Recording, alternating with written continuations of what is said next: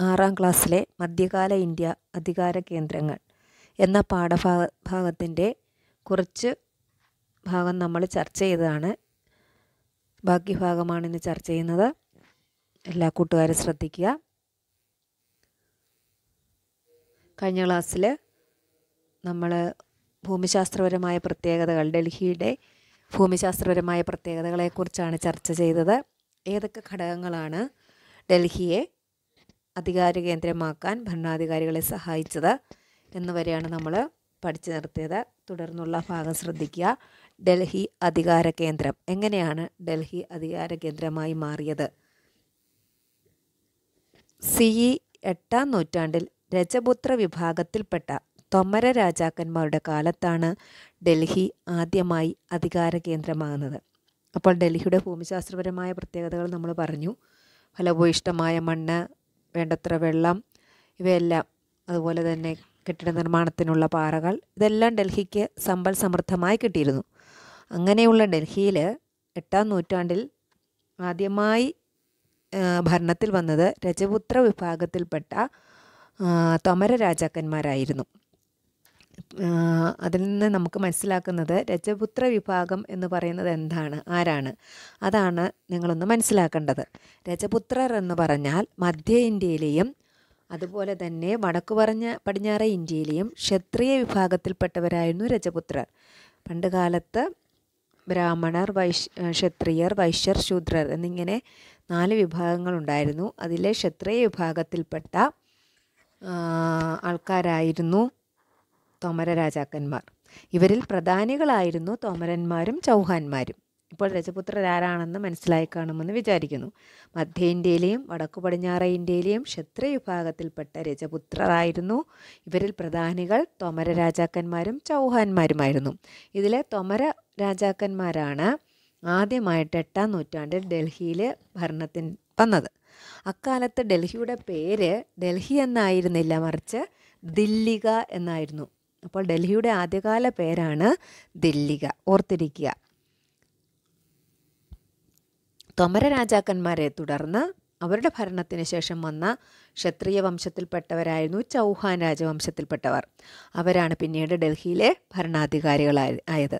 ചൗഹാൻ വംശത്തിലെ അവസാനത്തെ ഭരണാധികാരിയുടെ പേരെന്താ? അതെ പൃഥ്വിരാജ് ചൗഹാൻ.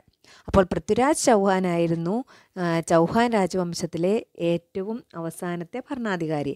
അപ്പോൾ അദ്ദേഹത്തിനെ കീഴടക്കി അദ്ദേഹത്തിനെ ഒരു യുദ്ധത്തിൽ കീഴടക്കി. ഇന്നത്തെ അഫ്ഗാനിസ്ഥാനിലെ ഇന്നത്തെ അഫ്ഗാനിസ്ഥാൻ അന്നത്തെ ഖോർ എന്ന് പറയുന്ന സ്ഥലത്തെ മുഹമ്മദ് ഡൽഹിയിൽ ആധിപത്യം സ്ഥാപിച്ചു.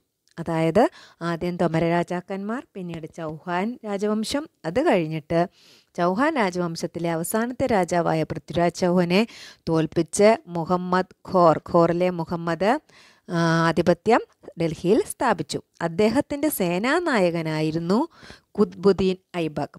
ആരാണ്? കുത്ബുദ്ദീൻ ഐബക്. കുത്ബുദ്ദീൻ ഐബക്ക് എന്തു ചെയ്തു? ഖോറിലെ മുഹമ്മദിന്റെ മരണ ശേഷം ആയിരത്തി ഇരുന്നൂറ്റി ആറിൽ സി ആയിരത്തി ഇരുന്നൂറ്റി ആറിൽ കുത്ബുദ്ദീൻ ഐബക്ക് ഡൽഹി കേന്ദ്രമാക്കി ഭരണം ആരംഭിച്ചു. അപ്പോൾ അദ്ദേഹത്തിന്റെ സേനാനായകനായ കുത്ബുദ്ദീൻ ഐബക്കാണ് മുഹമ്മദിന്റെ മരണത്തിനു ശേഷം ഡൽഹിയിലെ ഭരണാധികാരിയായിട്ട് മാറിയത്. അദ്ദേഹത്തിന്റെ രാജവംശം അറിയപ്പെട്ടത് ഏത് പേരിലായിരുന്നു? മംലൂക്ക് വംശം അല്ലെങ്കിൽ അടിമവംശം എന്നറിയപ്പെട്ടു. അപ്പോൾ നമ്മുടെ കുത്ബുദ്ദീൻ ഐബക്ക് സേനാനായകനായ കുത്ബുദ്ദീൻ ഐബക്കിന്റെ രാജവംശം അറിയപ്പെട്ടത് മംലൂക്ക് വംശം അല്ലെങ്കിൽ എന്താണ് അടിമവംശം എന്നാണ് അറിയപ്പെട്ടത്. അതിനുശേഷം മംലൂക്ക് വംശത്തെ തുടർന്ന് നാല് രാജവംശങ്ങൾ ആയിരത്തി ഇരുന്നൂറ്റി ആറ് മുതൽ ആയിരത്തി അഞ്ഞൂറ്റി ഇരുപത്തി ആറ് വരെ ഡൽഹി ആസ്ഥാനമാക്കി ഭരണം നടത്തി. അവരെ നമ്മൾ എന്ത് വിളിച്ചു? ആയിരത്തി അഞ്ഞൂറ്റി ഇരുപത്തി ആറ് മുതൽ ആയിരത്തി സോറി ആയിരത്തി ഇരുന്നൂറ്റി ആറ് മുതൽ ആയിരത്തി അഞ്ഞൂറ്റി ഇരുപത്തി ആറ് വരെ ഡൽഹി ആസ്ഥാനമാക്കി ഭരണം നടത്തിയ വരെ സുൽത്താൻമാരെന്നും ഈ കാലഘട്ടത്തെ സൽത്തനത്ത് കാലമെന്നും അറിയപ്പെട്ടു.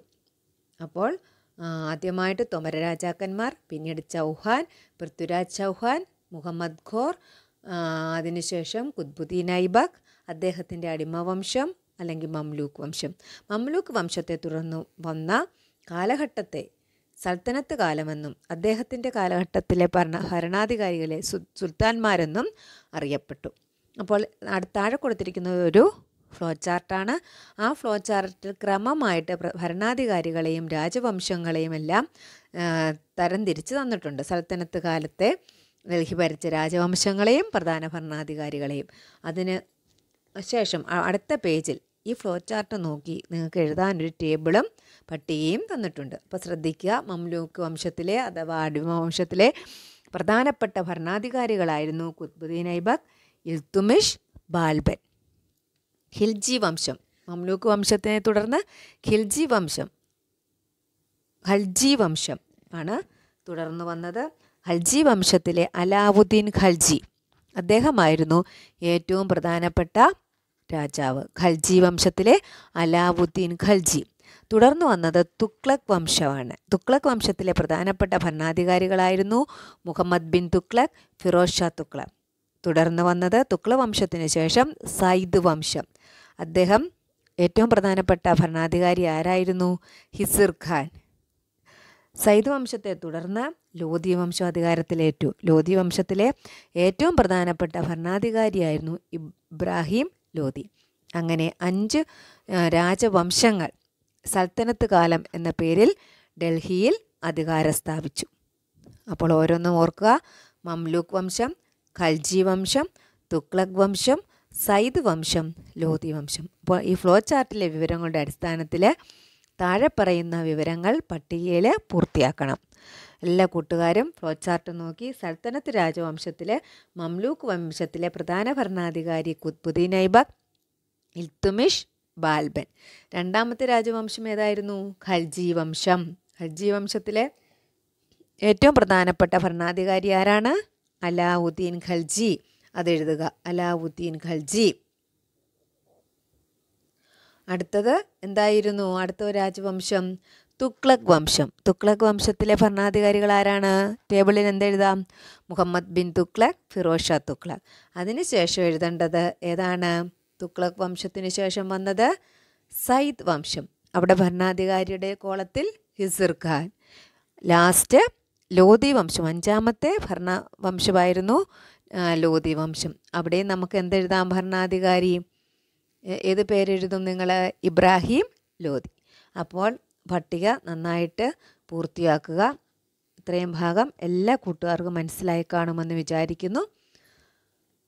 പാഠം പല പ്രാവശ്യം വായിച്ച് ഡൽഹിയുടെ അധികാര കേന്ദ്രത്തെക്കുറിച്ചും അതിലെ രാജവംശങ്ങളിലെ രാജാക്കന്മാരെക്കുറിച്ചും രാജാക്കന്മാരുടെ ഓരോ വംശത്തിന്റെ പേരും രാജാക്കന്മാരെ ഭരണാധികാരികളെ മനസ്സിലാക്കി എല്ലാവരും പാഠഭാഗം നന്നായിട്ട് വായിച്ചുറപ്പിക്കുക.